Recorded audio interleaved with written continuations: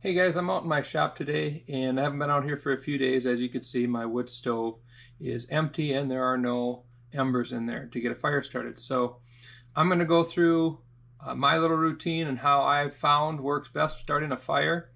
I have gotten a lot of feedback from uh, different people on um, what works best for them and I appreciate it. I was able to try out several different methods and this is the way that I found is the easiest way to start a fire. So to get started, what I like to do is find a couple of bigger logs, bigger chunks, and put them on the outside. And I kind of build up a little bit of a, a wall along the outside here.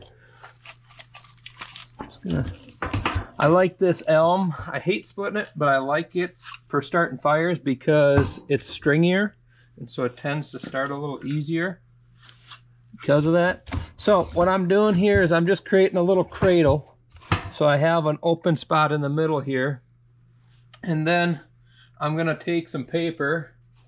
You know, some of you guys don't like using paper, but throw a little bit of paper on the inside here.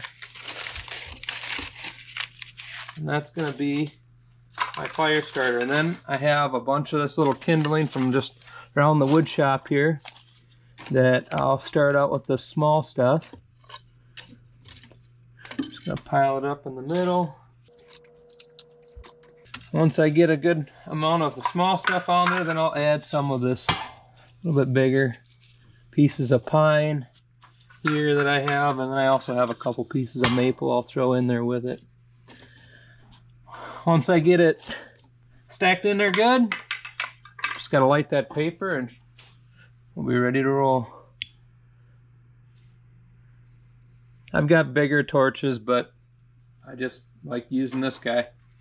So we're gonna just let that guy sit. The manufacturer of this wood stove recommends that you start the fire, you shut the door, but don't shut it all the way, don't latch it, and you just leave it sit with the door cracked for the first 10 minutes uh, or until it gets up to a good burning temp.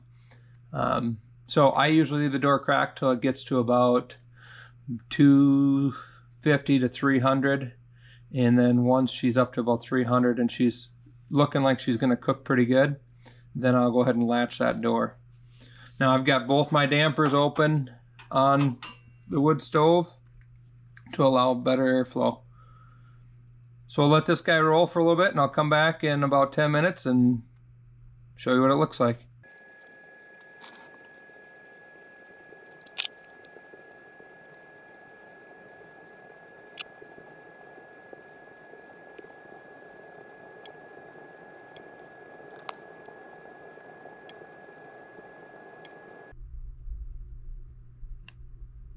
All right, guys, it's been only about four minutes, and as you can see, this fire is uh, cruising pretty good right now. My flue temp is just under 300 degrees, so I'm going to go ahead and shut, or just go ahead and latch this door right here, and let her roll. Just want to give a shout out to those of you that have been leaving comments down below, giving me different tips and tricks, things to try with um, the wood stove. Been very encouraging, lots of good feedback. So this is what I found works real good for my situation and I uh, hope it helps you. If you like this video, please give it a thumbs up and hit that subscribe button. And I look forward to seeing you in the next video.